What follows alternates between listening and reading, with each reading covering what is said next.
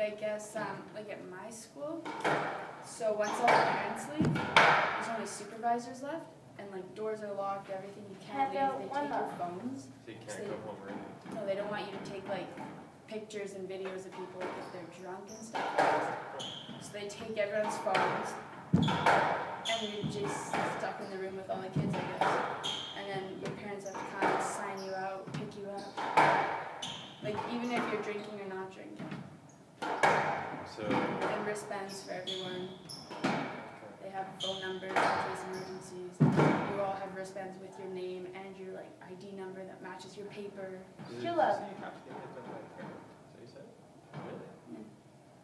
It's like, which I find that is every- kind of weird because I don't know. Like for me, I don't like staying out that late. Handout I'm one, sure a lot of my friends will want to stay out later, so I don't know what time I'm supposed to put down. Like what if I'm there and I'm just I want to go home? Yeah, so if like you can. can't just text your parents saying, okay, pick me up. Oh, really?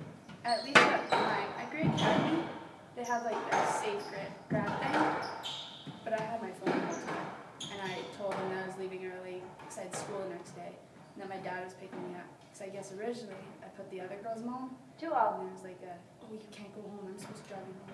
I was like, I had school, my dad's picking me up, you can come see. Like, I don't know. Three, two.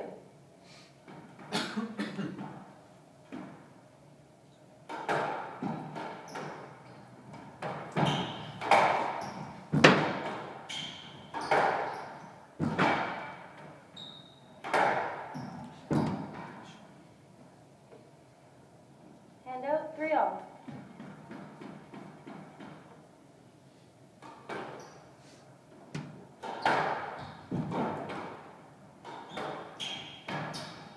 Down.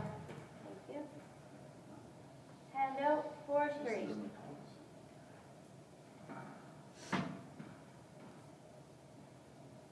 I won't be at group on Tuesday.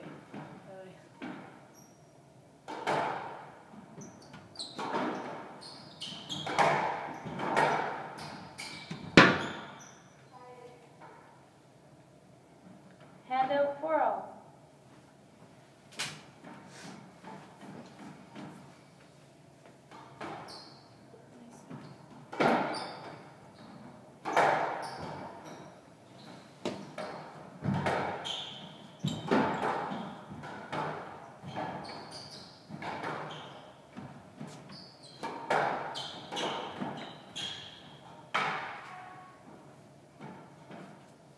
Handout five, four.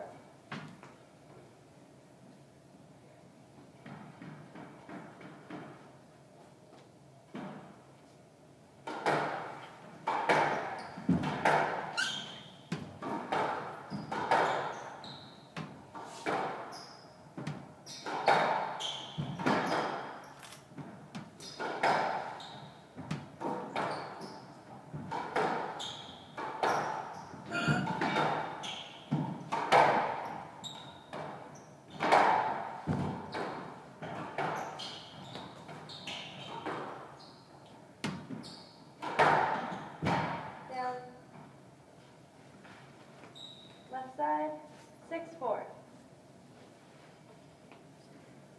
Dad, I just asked me if I could pick her, Evan, Zach, oh, or from Paige's cabin. I told her she had to sleep. Mom, I I told her she had to sleep driving in the dark, Yes, left. like in the boat. I don't want you in there. Left You're side, across, why six, are you four. driving? That's right beside. Drive them home or there? Home. What? No, I don't want to do that. Especially in the winter. I told her she was gonna sleep with Paige's. I told her that's the only way she's gonna do. You tell her. I'm not gonna tell her. You said, what are the